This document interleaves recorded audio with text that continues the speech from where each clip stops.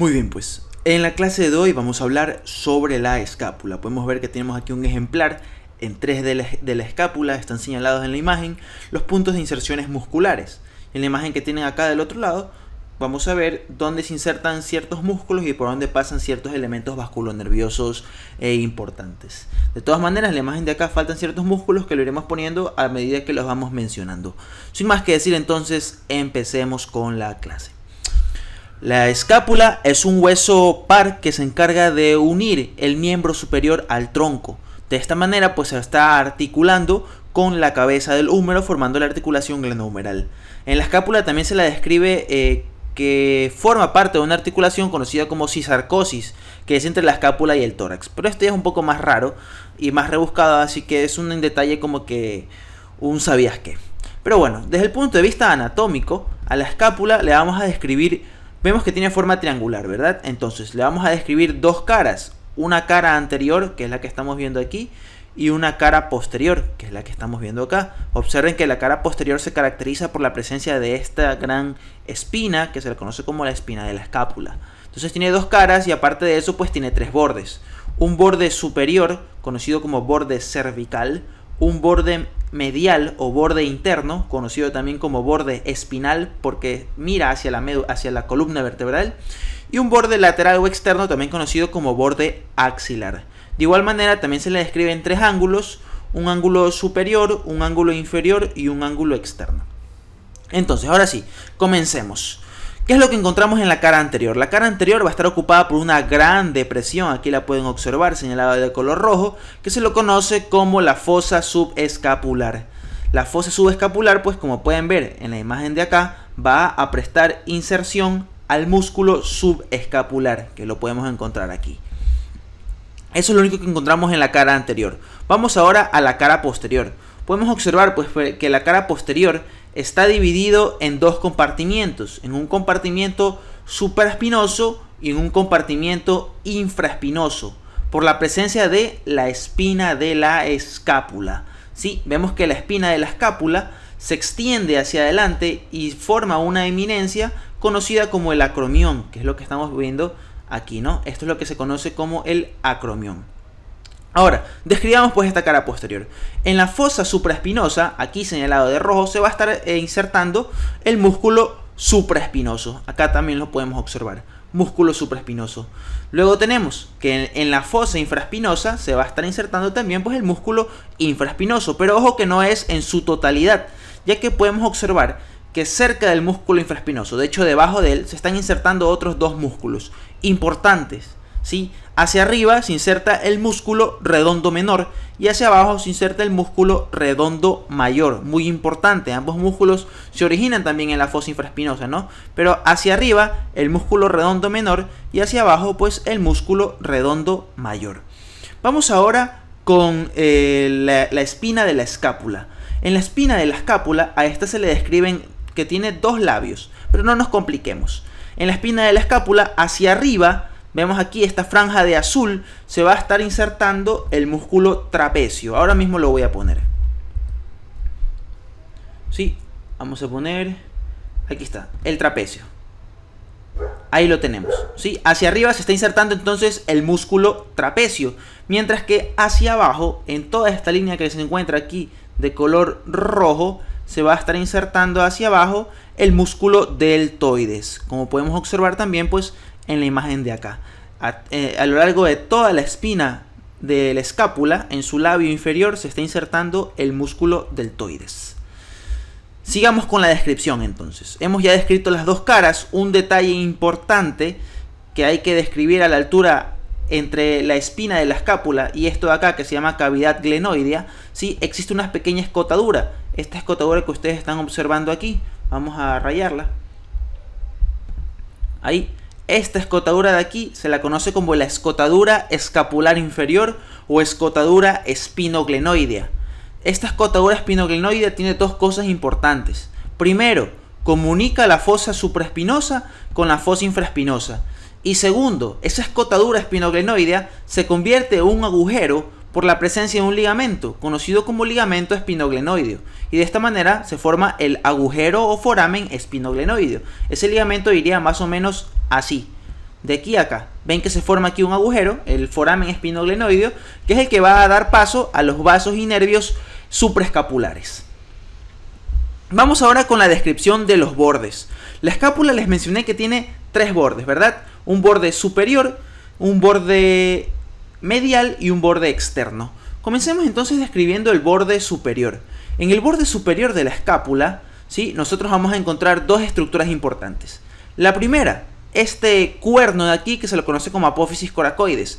Y la segunda, una pequeña escotadura conocida como escotadura coracoidea o escotadura superior de la escápula. Vamos describiendo cada una de ellas. Primero comencemos hablando de la apófisis coracoides. Vemos que es una apófisis que tiene forma como de pico de cuervo y va a estar prestando inserción a tres músculos importantes. ¿sí? Hacia acá, hacia medial, se va a estar insertando el músculo pectoral menor. Aquí lo he puesto. Vamos a sacar el deltoides. Saquemos el deltoides, saquemos el trapecio ahí lo tenemos, ahí está más descubierto. Entonces, aquí se va a estar insertando el músculo pectoral menor, mientras que en el vértice, sí, en todo el vértice de la apófisis coracoides, se van a estar insertando dos músculos que de hecho comparten un tendón común. Aquí se va a estar insertando, por un lado, se va a estar insertando la cabeza corta del bíceps braquial y por el otro se va a estar insertando pues el músculo coracobraquial, como nosotros podemos comprobarlo acá.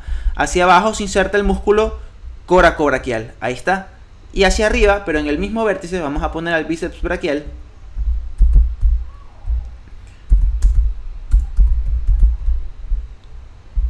Bíceps braquial del lado izquierdo. Ahí lo tenemos. ¿Sí? Entonces ahí podemos observar que se está insertando también la cabeza corta del bíceps braquial, muy importante. Luego por acá tenemos a la escotadura coracoidea. De nuevo, vamos a nuestra imagen que posee músculos y ligamentos. Aquí tenemos nosotros a nuestra escotadura coracoidea. Vamos a señalarla con, bolígrafo. Aquí está, escotadura coracoidea. La escotadura coracoidea, pues ven que se convierte en un agujero gracias a la presencia de este ligamento que está aquí, que se lo conoce como el ligamento escapular el ligamento eh, transverso superior de la escápula, así se lo conoce, ligamento transverso superior de la escápula. ¿Qué es lo importante sobre este ligamento? ¿Sí? Que primero pues convierte la escotadura coracoidea en un verdadero agujero. Y segundo, que por él, por la escotadura coracoidea, o mejor dicho, por dentro de la escotadura coracoidea, va a estar pasando el nervio supraescapular. Si se dan cuenta, pasa por debajo del ligamento. Mientras que la arteria supraescapular pasa por encima. Esto es un detalle anatómico importantísimo porque lo suelen tomar bastante en las lecciones. ¿sí? El nervio pasa por la escotadura coracoidea, mientras que la arteria pasa por encima. Mucho ojo con ese detalle, chicos. Sí, que lo suelen tomar bastante. Ahora, sigamos describiendo. Sigamos describiendo. Vamos a quitar ese bolígrafo que he puesto ahí, que no se quita. Ok, creo que Perfecto. Ya. No, todavía no. Ya. Por dentro de la escotadura coracoidea, nosotros vamos a ver que se está insertando un músculo aquí, chiquitito, en rojo, que corresponde pues al músculo homoioideo. Acá se los pongo. Ahí está. ¿Sí? Por dentro de la escotadura coracoidea se va a estar insertando el músculo homoioideo. Y así hemos terminado la descripción del borde superior. Vamos a describir ahora el borde externo o borde axilar. En el borde externo o borde axilar nosotros vamos a encontrar acá a la cavidad glenoidea de la escápula, la cual va a recibir a la cabeza del húmero para formar la articulación glenohumeral. Un detalle importante es que en estado fresco esta cavidad glenoidea va a estar rodeado por un fibrocartílago conocido como rodete o labrum glenoideo cuya finalidad es simplemente aumentar la superficie articular. Por encima de esta cavidad glenoidea, nosotros vamos a encontrar un pequeño tubérculo aquí señalado de rojo, conocido como el tubérculo supraglenoideo. Y en cambio, por debajo vamos a encontrar a la, carilla o tubérculo infraglenoideo. Acá lo tenemos. ¿sí? En el tubérculo supraglenoideo se va a estar insertando el tendón de la cabeza larga del bíceps braquial, mientras que en el tubérculo o carilla infraglenoidea se va a estar insertando el tendón de la cabeza larga del el tríceps braquial. Mucho ojo con esos detalles. Hacia arriba el bíceps, la cabeza larga del bíceps y hacia abajo la cabeza larga del tríceps. Vamos a comprobarlo acá. Aquí tenemos nosotros a nuestro músculo bíceps braquial y vemos que la porción larga, su tendón, se va a estar insertando acá. Si lo pueden observar. Y ahora vamos a poner el tríceps que falta.